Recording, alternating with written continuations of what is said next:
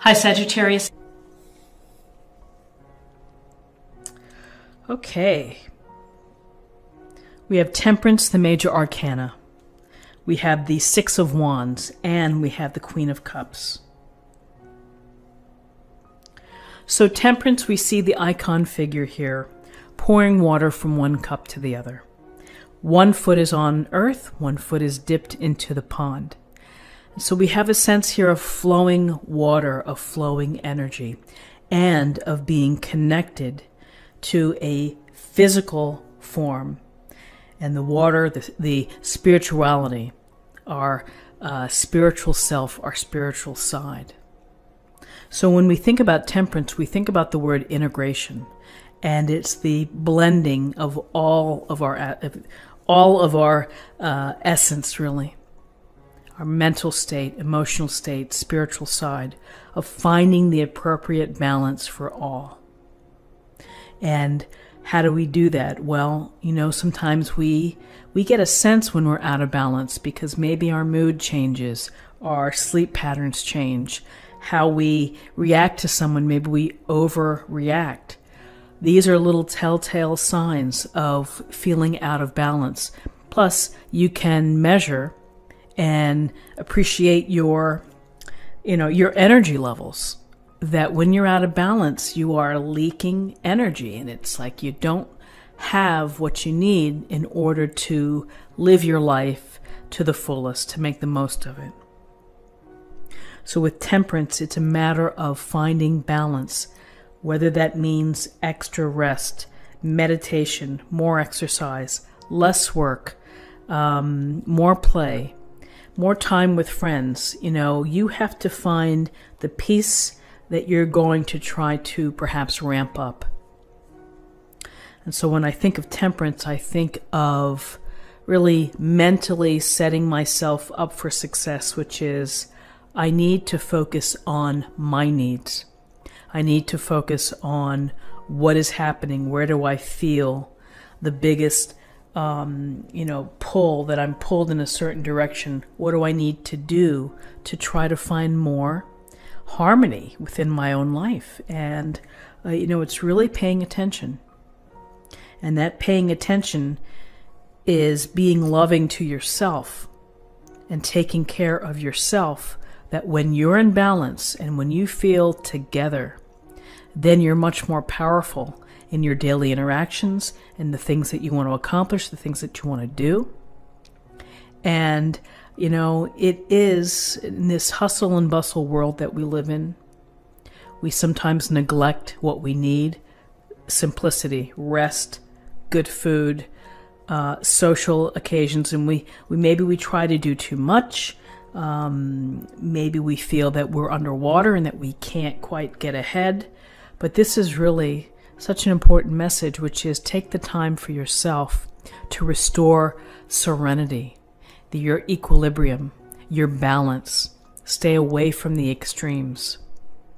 And, you know, uh, if you've been out every night with friends and you're flat out exhausted, but you feel that you have to go, you know, maybe you have to learn to say no or to say not tonight, maybe another night. So, with this temperance, we see the Six of Wands.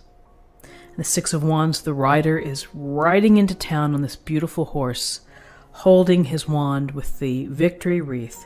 People are watching, people may be applauding, people are recognizing the effort here and the success that this rider brings in.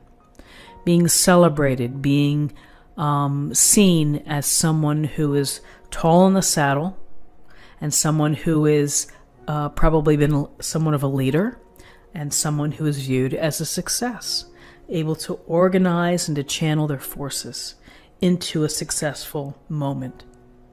So, on a literal level or a practical level for you, the Six of Wands means that if you've been working your tail off on a work project and you know, you may be getting a nice email from the boss, you may be getting a high five from a coworker, you may be getting a bonus or a promotion or something as a result of what you've brought to the table and what you've done. The journey may not have been easy, And maybe there's some bumps in the road, but the rider here stands tall and again is being welcomed as someone to watch. They're watching him. So take your moment here to enjoy your reward for whatever it is that you've been working on. If you've been trying to keep to a running schedule to run in a race and you've done well this week, then give yourself props.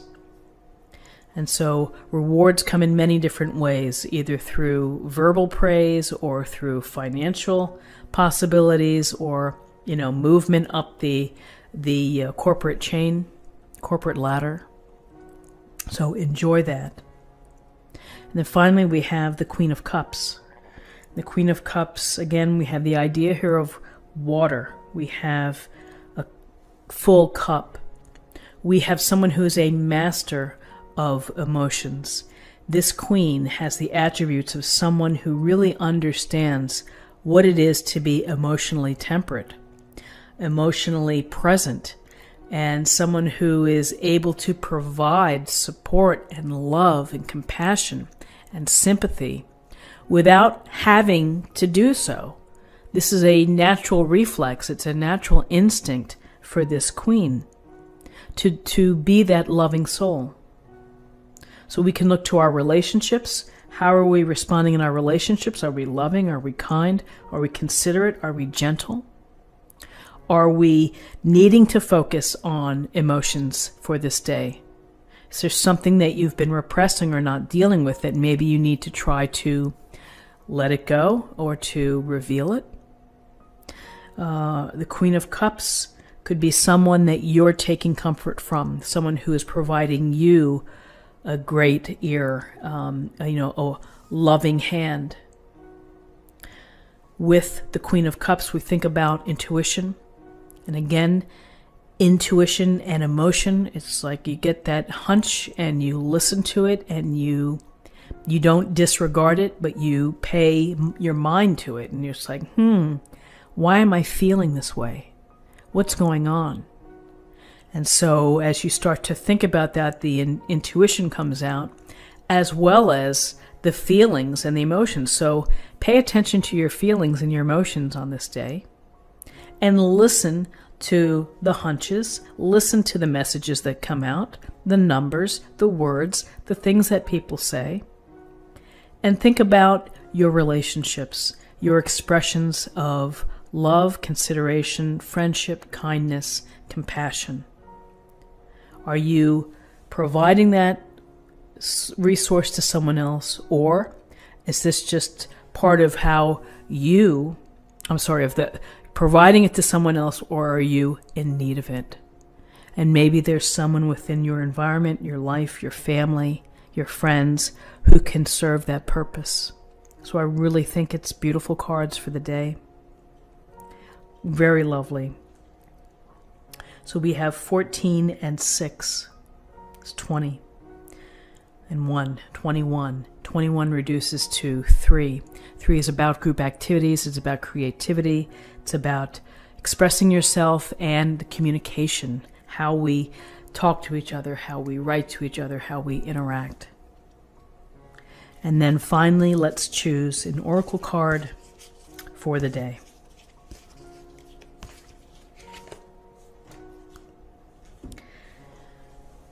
So I'm actually going to do two. This one fell out on the floor, so let's do this one first.